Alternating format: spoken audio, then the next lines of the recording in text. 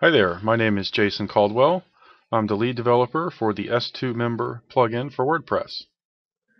Alright, I'm just doing another video here covering the topic in the uh, in the forums for s2Member. Uh, this user is writing in and uh, is reporting a bug related to actually another. It's it's actually they're not really uh, reporting a bug about s2Member. They're reporting a bug about another plugin and how it's affecting s2Member but I have seen others uh, write in and report this bug as being related to s2Member directly. So anyway, I just wanted to clear up some confusion on why this particular uh, issue is occurring. You see here they've posted a screenshot, and if you've ever seen this happen on your installation of WordPress, then uh, this video should interest you. So this person pulls up their general options for s2Member, and it's just blah. There's nothing, just a save button. So it's very disturbing. Like, where did all my options go? And several users have also gone into a panic over the fact that you know maybe everything is lost. That's not the case. What's happening here is that the options are not initializing. So all of the menus, the pull-out menus that you've seen, where you just click the, the subheadings and they open and close, those are not being initialized in your dashboard. I'm going to bring you over here to another screen and show you why that's happening. Let's see, I have my general options panel for WordPress loaded up here, s2Member general options.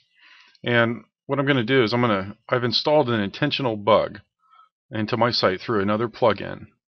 And I'm going to demonstrate for you where this bug, how and where this bug can be found and how you can correct it. I'm going to click my general options here now that I've installed the bug. And you see I get the same thing. So my s2Member general options now appear to be gone.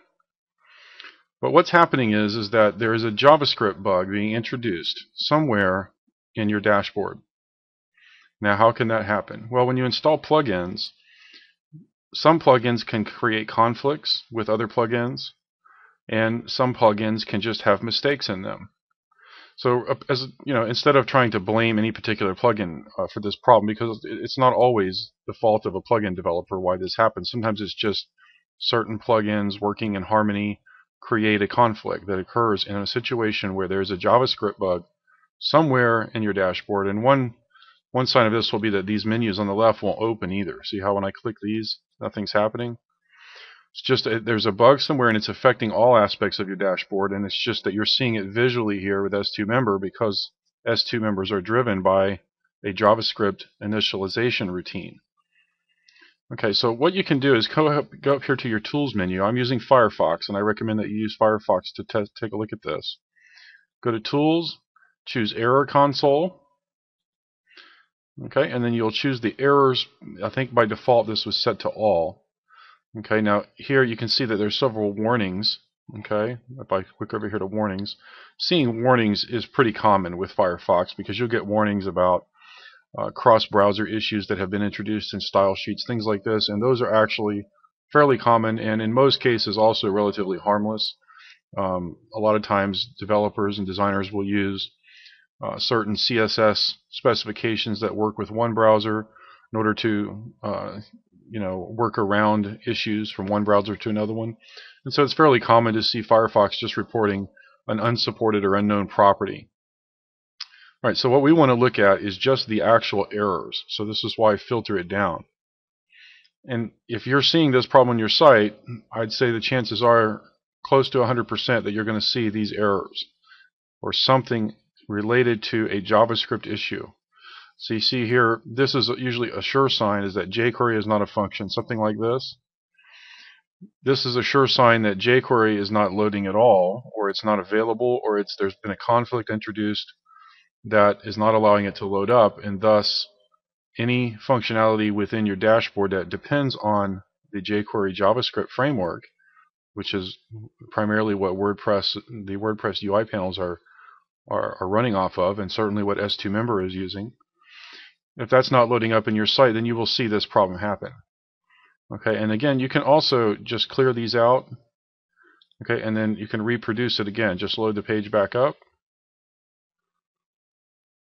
And then take a look back. I'm going to flip screens here. And you'll see they pop back up. So each time you load the page, the errors are reproducible.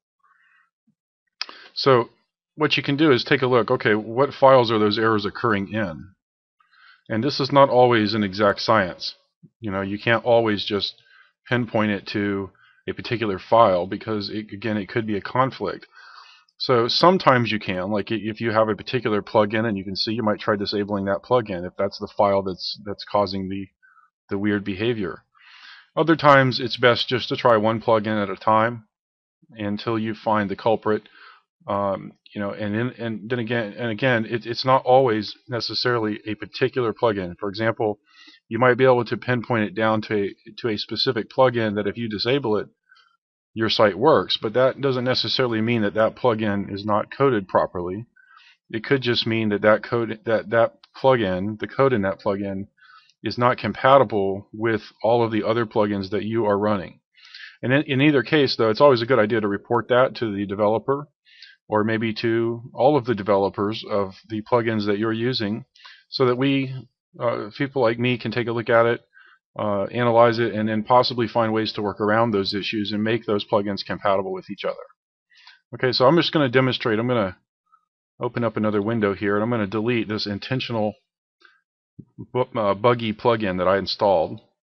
So just deleting that plugin is going to remove that conflict and I'm just going to bring back my WordPress installation and I'm going to show you here if I click the general options again for s2Member and now with it loading up without that bug being introduced you see everything is back to normal and your options that you had configured for s2Member will remain. You're, nothing was lost. In fact, they were all there the whole time. It's just that it didn't pop up uh, to be visible to you.